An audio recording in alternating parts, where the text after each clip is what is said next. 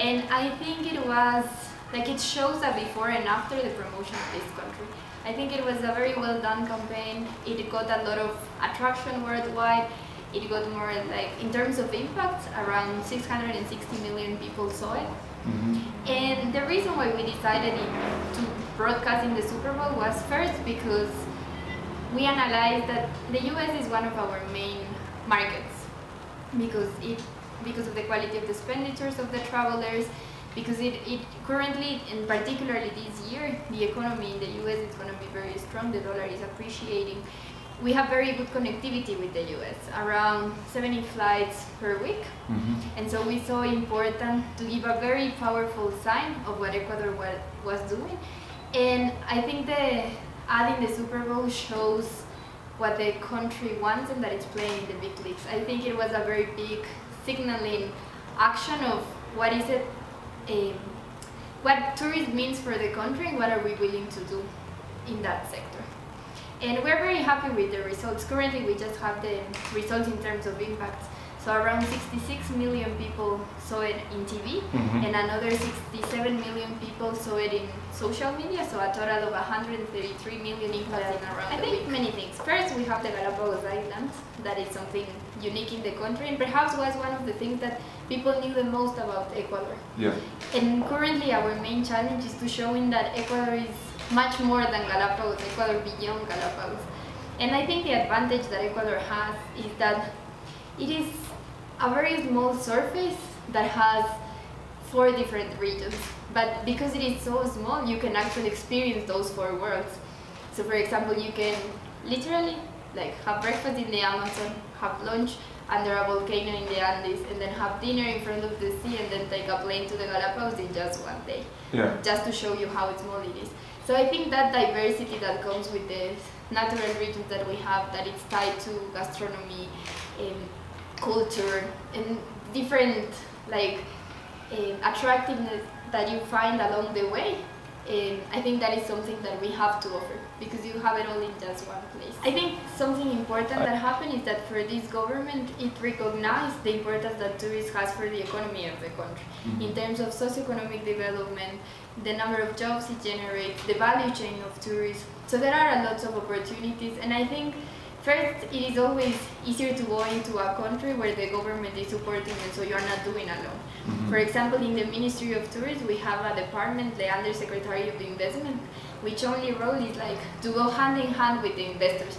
So I always like to see that I don't see investors as, as something like far away from us.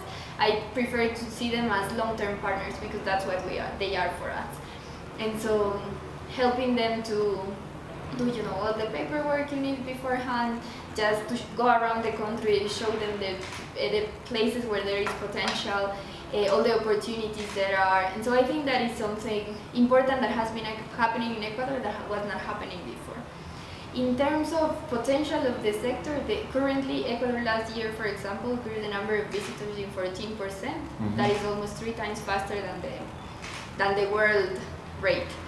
And as I told you, tourism has been like getting this attractiveness and it's a central part in the transformation towards an non-oil economy for the country. So one of the things that we have seen is a very important increase in the number of tourists, but also in the, uh, an increase in the supply of hotels. Many different opportunities in the sense that Ecuador is the first, now is the number one destination for retirees, is the number one place to live for expats, and so it is a lot of opportunities not only for tourists, but that people that would like to come to Ecuador. So we are seeing a lot of foreign investment, for example, for retirees in the coast, along the along the coast, also in the Andes, in the Amazon. Only between last year and this year, we're expecting around 600 million dollar in investment, just on like kind of first stones of much bigger projects to develop in the next 10 or 15 yes. years. So I think one important uh, thing about Ecuador is that if you see in terms of potential, like mm -hmm. in, if you rank the world, Ecuador is among the top 25 in terms of natural and cultural resources. So that is kind of like the potential we have, but it's also a challenge in the sense that those are resources that you have to preserve. Uh -huh. So that is already like um, a constraint that we cannot be a country of volume like Dominican Republic is, for example. And so we saw that tourism has to be a long-term business. We are not thinking about this generation. Yeah. We are thinking for the long run. So that implies how to make it sustainable in the long run while preserving our natural and cultural resources. So if you would have like a, if you would have mapped like, and in the X you have the quality of the expenditures, and in Y you have the number of visitors, we will be growing kind of like 45 degrees. We do want to increase the number of tourists, of course, but for us it's also very important to increase the quality of the expenditure of those tourists. Because at the end, our objective is to increase the income for the country, yeah. to generate more jobs. And so we found important first to let them stay longer, to persuade them to stay longer, which means creating new products, new attractions, give them reasons to stay, and one thing important that we're doing is trying to connect the different regions. And just another aside note is that this country has invested around 8 billion in roads.